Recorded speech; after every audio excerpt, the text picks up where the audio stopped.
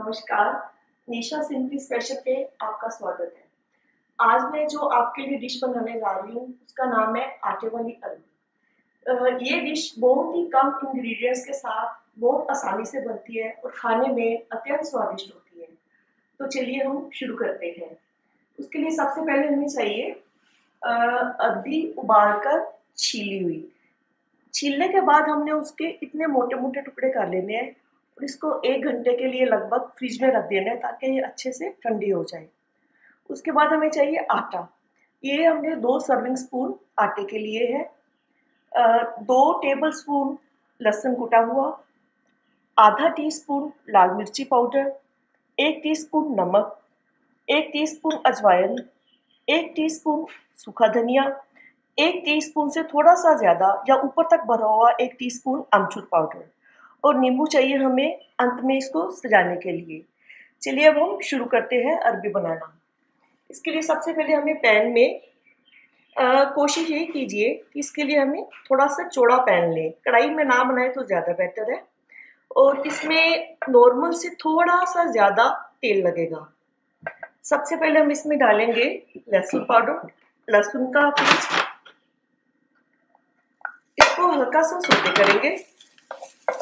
ज़्यादा नहीं भूनेंगे लगभग एक एक मिनट के लिए सोते करेंगे।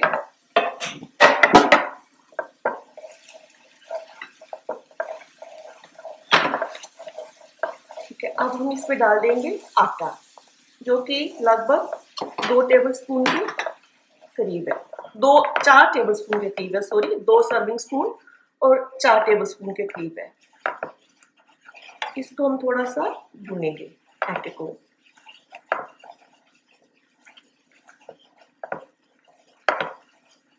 तेल मुझे थोड़ा सा कम लग रहा है। थोड़ा सा तेल वो डालेंगे इसमें।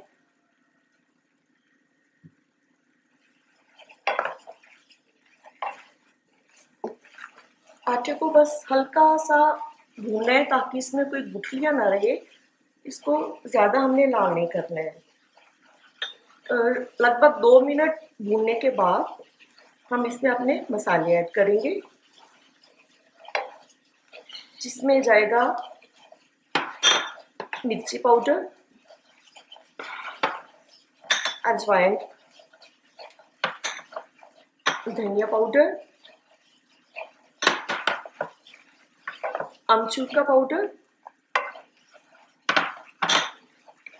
और नमक। इस बात का खास ध्यान रखें कि जो मसाले हैं सारे आटे में अच्छे से मिक्स हो जाए और भून जाए। अब इसके बाद हम इसमें डालेंगे अपनी अरबी। अरबी को हमने बस इसको टोस्ट करना है इस तरह से, जिससे कि सारी अरबी आटे के साथ अच्छे से कोट हो जाए।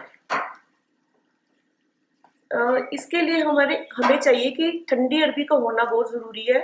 अगर हम ताज़ी अरबी उसी टाइम अगर उसको बना के, उबाल के उस टाइम अगर बनाएँगे तो ये आपस में चिपक जाएगी।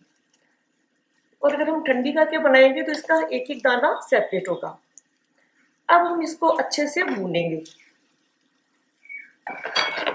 इससे ये होगा कि आटा भी अपने आप भूनता जाएगा साथ में, और इसका जो लहसुन डाला हुआ है वो भी अच्छे से भून जाएगा।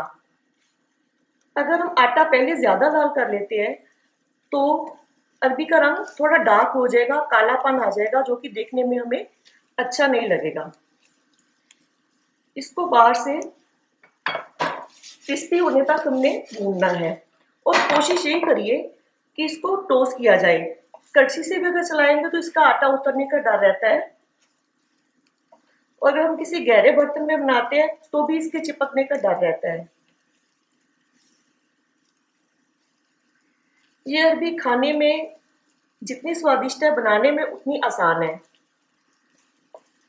अगर आप घर में एक बार गेस्ट को बना के खिलाएँगे तो आपसे इसकी रेसिपी ज़रूर पूछेंगे। ये मेरी गारंटी है।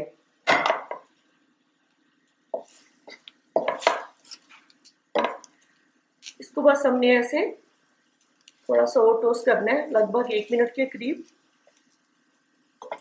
जिससे कि बाहर से अच्छी तरह से ये थोड़ी सी क्रिस्पी हो जाए, उसका कलर भी थोड़ा अच्छा बन जाए।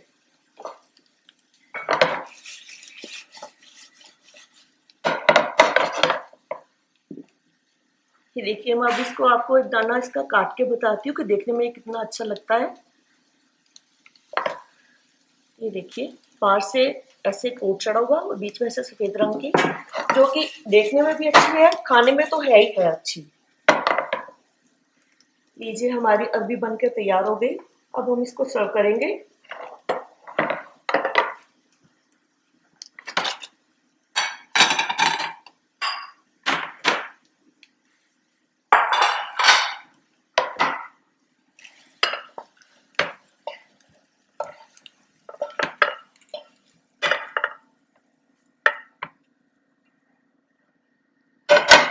इसके ऊपर नींबू डाल के खाया जाए तो ये और भी स्वादिष्ट लगती है। लीजिए आप इसको दाल, चपाती के साथ सर्व कर सकते हैं। मैं उम्मीद करती हूँ कि मेरी आपको ये रेसिपी पसंद आई होगी और आप इसको ज़रूर बनाइएगा और इसको लाइक करिएगा।